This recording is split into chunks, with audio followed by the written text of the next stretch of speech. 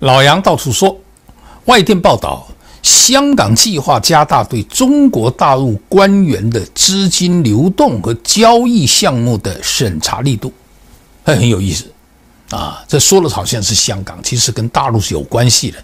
这意味着什么呢？意味着大陆将进一步加大反腐的力度。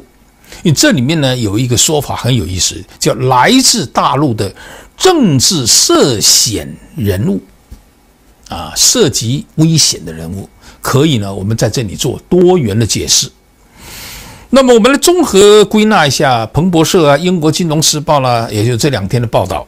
香港最新的防洗钱、反洗钱的咨询文件显示，香港财经事务及库局建立，对来自香港以外地区，也不是中国中华人民共和国以外的任何地方的政治涉险人物。来进行更加严格的尽职调查。那么，现在按照香港这个法律呢，目前只有中华人民共和国以外的政治涉险人物需要接受更严格的调查。那么，香港呢有一个律师行啊，一个律师叫李显能，他说，如果香港一旦通过修改之后的反洗黑钱的规则，那么香港的银行。香港的律师和会计师，除了要加强对外国政治涉嫌人物的尽职调查的力度之外，也必须加强对来自中国大陆的政治涉嫌人物的调查力度。注意哦，这是个很有趣的动向。根据香港特区政府有关的反洗钱咨询的文件显示，香港也可能对虚拟资产交易业务提出更严格的要求。那就是虚拟货币呀，啊，比特币呀等等，并对以贵重资产为基础工具的商业交易设立两级注册制度。那么，香港这样的尝试呢，过去下面几年呢，加强监管，来确保外界遵守反洗钱的法规。根据这个报道呢，由于涉及洗钱，或者为恐怖分子提供资金的风险比较高，所以呢，香港的金融机构和指定的非金融企业或者行业领域必须对外国政治涉险人物和他们的家人，或这些政治涉险人物有亲密联系的人士展开尽职调查。那么好了，这句话更有意思，在香港现有的规则下。在外国拥有政府职务的个人，都属于政治涉险人物。当然，过去讲外国，现在包括中国大陆的话，那就说在政府职务的个人，拥有职务的个人，都属于政治涉险人物。这联想到了，也就是去年或者今年年初，这中纪委，那么这个习近平讲了。中共的反腐形势依然严峻复杂，腐败这个中共执政的最大风险依然存在，反腐斗争稍有松懈，就可能前功尽弃。这事情我呢有一些这样的解读，不一定对啊，但是我认为呢有一点意思。嗯，第一呢，我们在此之前有提过，北京不是要更换中联办呢一两百呃两百多一半的人选啊。那么曾经有有人提示过，这是北京准备对香港的拨乱反正的一个最重要的举措。北京将加大对香港大陆驻港机构，当然负责港澳工作的港澳办、中联办，尤其是中资企业、央企、国企和其他涉港机构的彻底整治的力度。别以为都是敌对势力啊煽风点火，别以为香港什么东西的诸如此类。堡垒是从内部攻破的，来自内部的因素也很重要。所以这个彻底整治这个关系啊，大家一定要明了，可能是未来一两年啊，大家可以关注的一个点。第二呢，在香港现有规则之下，注意，在外国拥有政治职务的个人都属于政治涉险人物。好了，如果。香港特区政府着手加强来自中国大陆的政治涉嫌人物的调查力度，就意味着什么呢？就意味着现任职务的、已经退休的大陆各级官员，他们的资产、他们的香港的资金的流向都属于被禁止调查的范围，这就不一样了，啊，这就不一样了。第三，在香港具有中资背景的企业，尤其是大型的央企、大型的国企、各省市的一些企业、驻港机构。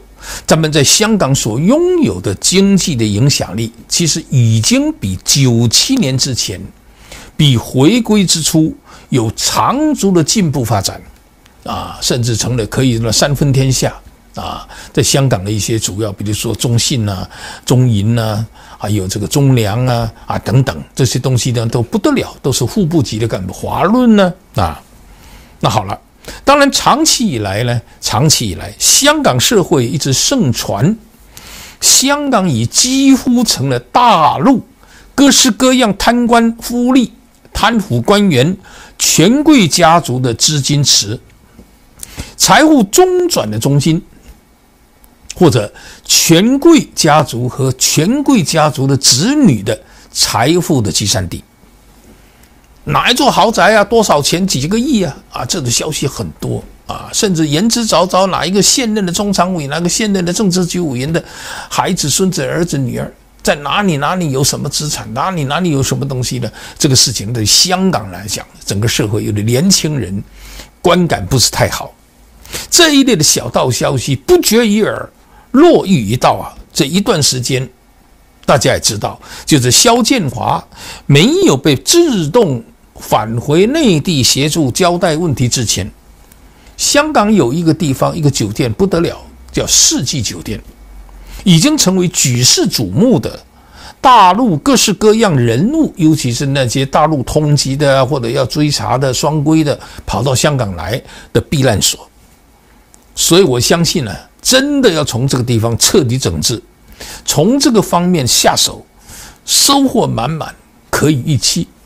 只是看当局是不是半遮半掩，或者是真的是真做到彻底整治，啊，这事情呢，我们是有期待的，啊，这是第四点。二零一九年反送中引发的街头抗抗争，啊，沸沸扬扬。当然，我们一般都会说，现在大陆都会说，海外敌对势力、国际政治势力啊，提供资金、提供训练啊，沿着很多，包括台湾，包括哪里，是吧？好了，除了李子英这些浮在水面上的金主之外，据称也有避居在港甚至在内地的某些资金的支持。啊，这些传言当然有待于进一步的核实、进一步深入的调查和揭露。好了，香港修改反洗钱、黑钱的规则，就一定会涉及到。具有中国大陆或者背景的这些政治的涉险人物，如果呢真的有决心要加大调查力度，我们可以想象后续的各种真相的披露，应该会有很多大跌破眼镜、大失于眼球的轰动效应。当然，我希望他不是说，而是真的要做。我不做呢，只是呼喊一下，雷声大雨点小，那就算了。如果真做的话，香港这一块的文章一定可很多。